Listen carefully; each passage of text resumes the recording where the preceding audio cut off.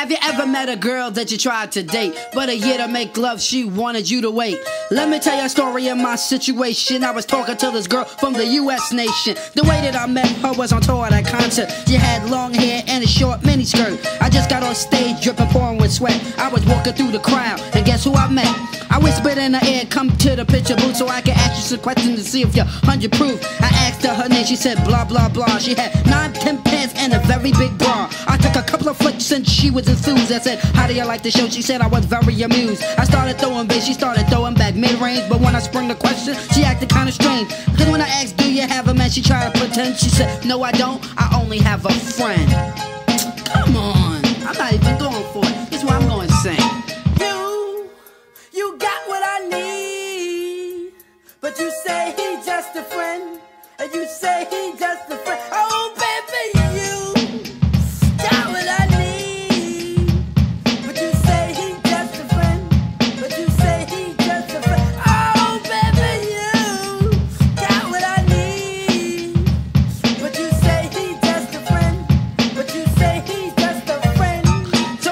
Took blah for it. At this time, I thought just having a friend couldn't be no crime. Cause I have friends, and that's a fact, like Agnes, Agatha, Jermaine, and Jack.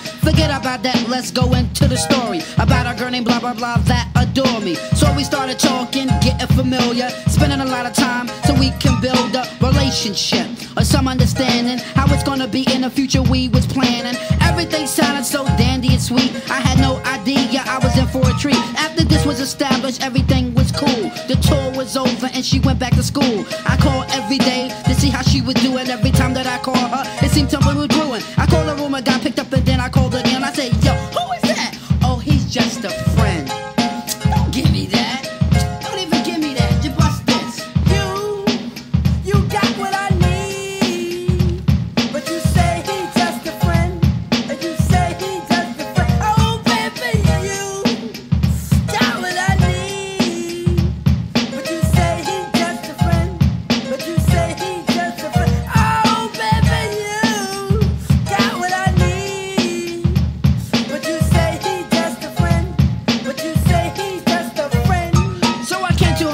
College on a surprise visit to see my girl that was so exquisite. It was a school day. I know she was there the first semester of the school year. I went to a gate to ask where was a dorm. This guy made me fill out a visitor's form. He told me where it was, and I was on my way to see my baby doll. I was happy to say.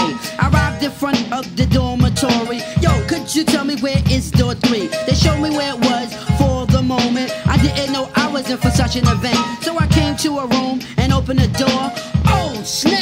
What I saw? I felt a tongue kissing my girl in the mouth. I was so in shock, my heart went down south. So please listen to the message that I sent. Don't ever talk to a girl who says she just has a friend. Has a friend.